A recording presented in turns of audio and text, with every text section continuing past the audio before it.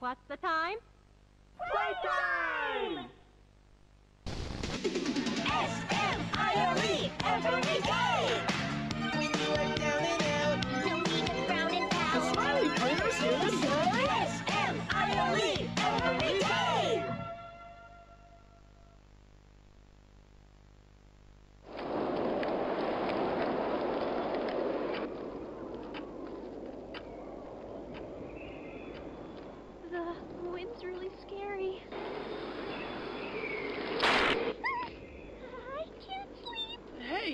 Be okay, guys. I promise. All winds blow away. Eventually.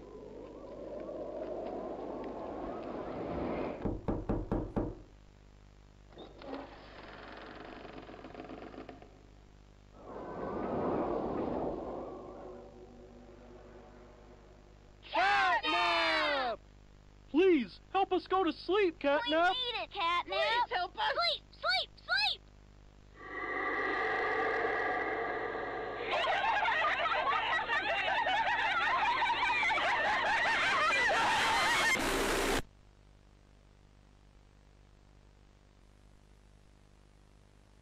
Everyone knows Huggy Wuggy and Poppy Playtime, but are your children safe from Playtime Co.'s latest toy? What you've seen here is Playtime Co.'s own Smiling Critters, a limited series cartoon meant to celebrate the release of the toys sharing its name. Yet both now face the fire sparked by the inclusion of one key member. This is Catnap. And like the others of his line, you just pull his little tail and seems innocent enough. However, parents across the country report their children experiencing strange and often violent nightmares. And beside them, their little, grinning catnap doll.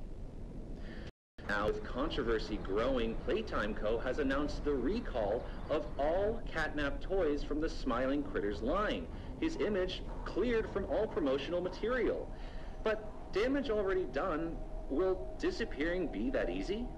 The exact cause of these incidents still unknown, only one thing appears glaringly certain.